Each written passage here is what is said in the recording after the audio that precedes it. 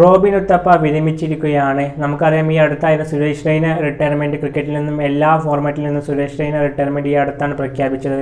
ഏതായാലും അതിന് പിന്നാലെ ഇപ്പോൾ റോബിൻ ഉത്തപ്പയും വിരമിച്ചിരിക്കുകയാണ്. റോബിൻ ഉത്തപ്പയെ നമുക്ക് എല്ലാവർക്കും സുപരിചിതമായിട്ടുള്ള ഒരു താരമാണ്. അതിനുപരി ഒരു മലയാളി ടച്ചുള്ള ഒരു താരം തന്നെയാണ്. കേരളത്തിൽ റോബിൻ ഉത്തപ്പയ്ക്ക് ഒരു വലിയ ഒരു ഇതൊക്കെ ഉള്ളത് നമുക്കറിയാവുന്നതാണ്. അത് മാത്രമല്ല രഞ്ജി അതുപോലെ ഇപ്പോൾ അവസാനമായിട്ട് ഡൊമസ്റ്റിക് കളിച്ചത് കേരളത്തിന് വേണ്ടിയാണ്.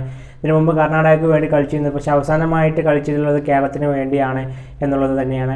ഐ പി എല്ലിലാവട്ടെ നമുക്കറിയാം. അതുപോലെ മുംബൈ ഇന്ത്യൻസ് കുറേ മുംബൈ ഇന്ത്യൻസ് അതുപോലെ Chennai super kings Rajasthan royals Pune warriors പല ടീമുകൾക്ക് വേണ്ടി ഉത്തപ്പ കളിച്ചിട്ടുണ്ട് എന്നുള്ളത് തന്നെയാണ്. ഇതിൽ വളരെ മികച്ച താരമാണ്. ഐ പി എല്ലിലൊക്കെ അനേകം റെക്കോർഡുകളുള്ള താരമാണ്.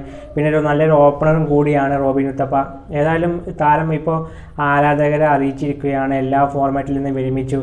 നമുക്കറിയാം അദ്ദേഹത്തിന്റെ കളി രണ്ടായിരത്തി ഏഴ് വേൾഡ് കപ്പിൽ India twenty T twenty world cup നേടുന്ന സമയത്ത് അദ്ദേഹം ആ ഒരു ടീമിന്റെ ഭാഗമായിരുന്നു എന്നുള്ളത് വളരെ ശ്രദ്ധേയമായിട്ടുള്ള കാര്യം തന്നെയാണ്. ഏതായാലും വളരെ മികച്ച ഒരു ഓപ്പണറായിട്ടും ഓപ്പണറായിട്ടും അതുപോലെ ഒരു മിഡിൽ ഓർഡറിലായിട്ടും ഒരു ഫിനിഷറായിട്ടൊക്കെ പലതവണ കളിച്ചിട്ടുണ്ട്. അദ്ദേഹത്തിന്റെ ഷോട്ടുകൾ വളരെയധികം സുപരിചിതമാണ്. നടന്നു വന്നിട്ടുള്ള ഒരു അടി കയറി വന്ന് നല്ലൊരു അടി വളരെ സ്ട്രൈറ്റ് ആയിട്ട് അടിക്കുന്ന അടിയൊക്കെ ഒരുപാട് ആരാധകർക്ക് ഒത്തിരി ഇഷ്ടമായിരുന്നു.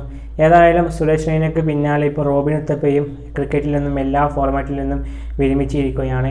ഏതായാലും റോബിൻ ഉത്തപ്പയുടെ പല ഇന്നിങ്സുകൾ നിങ്ങൾക്ക് നിങ്ങളുടെ ഓർമ്മയിലുണ്ടാകും ആ പല ഇന്നിങ്സുകളെ പറ്റി നിങ്ങൾ ഈ വീഡിയോയ്ക്ക് താഴെ കമന്റായി രേഖപ്പെടുത്തു.